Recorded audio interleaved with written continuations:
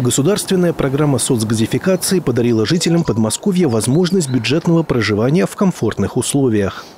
Семья Мамонтовых проживает в частном доме в деревне Мамоново уже больше 20 лет. Все эти годы они пользовались исключительно электричеством. У нас все было на электричестве, котел, вода, э, ну, отопление. Сейчас у нас э, будет уже э, это газовое отопление, и это значительно снижит расходы, потому что у нас была глобальная цифра э, больше 12 тысяч э, в, одной, в одном из месяцев зимних. Подключение абоненты ждали около трех с половиной месяцев. С оформлением документов проблем не возникло. Стандартный пакет документов, свидетельство на строение землю, само заявление и ну, ну какие-то там личные данные. Но это ориентировочно по времени 3, ну, чуть больше трех месяцев получилось.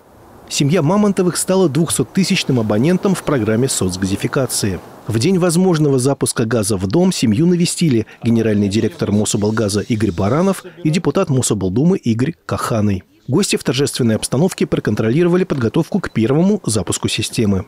Затягиваем, открываем газ и проверяем на утечку. Э, будьте любезны, на утечку газа. Данный этап является завершающим. После сборки газопровода, всех необходимых операций пуска газа в газовое оборудование проверяем соединения резьбовые на герметичность прибором.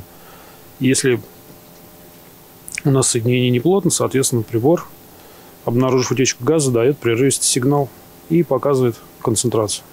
В доме также установили газовый котел с датчиком утечки газа. В экстренной ситуации он непременно подаст тревожный сигнал. Хозяйка дома проверила подачу голубого топлива, поставив чайник к приходу гостей. И всех присутствующих пригласила за стол, где обсудили нюансы подключения и другие насущные проблемы. Московская область в этой теме продвинулась более других регионов, и нас хвалят абсолютно на всех совещаниях. И э, ввиду этого мне э, очень интересно общаться с жителями, которые прошли этот путь, насколько он сложный, насколько он тернистый. Вот. И вот сегодня пообщался, пообщаясь в очередной раз с жителями, я понимаю, что у нас э, в области работают профессионалы, это наш Мособлгаз.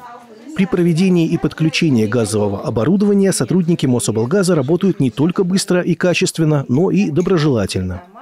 Как вам отношение сотрудников Мособлгаза? Прекрасно прекрасно. Э, вся э, группа людей, с которыми мы столкнулись в ходе проекта, я просто хотел бы просто отдельно сказать, что каждый э, профессионален, каждый внимателен, и каждый понимает решение индивидуальности вопроса.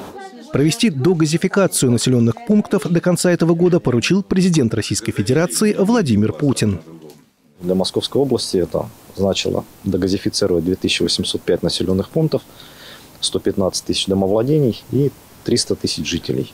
Понятно, что по закону мы э, подводим газ только там, где житель заявил желание. И 115 тысяч потенциальных домовладений, благодаря активной позиции Московской области, 90 тысяч домов и жителей, которые в них проживают, подали э, заявки и заключили договоры на догазификацию. Этот показатель превышает статистику подключенных абонентов в других субъектов Российской Федерации в 2-3 раза. По распоряжению Владимира Путина программа соцгазификации стала бессрочной и, соответственно, в планах на следующий год продолжать работу, не сбавляя темпов. Станислав Трифонов, Ольга Дмитриева, Олег Кривоножкин, телекомпания «Одинцова».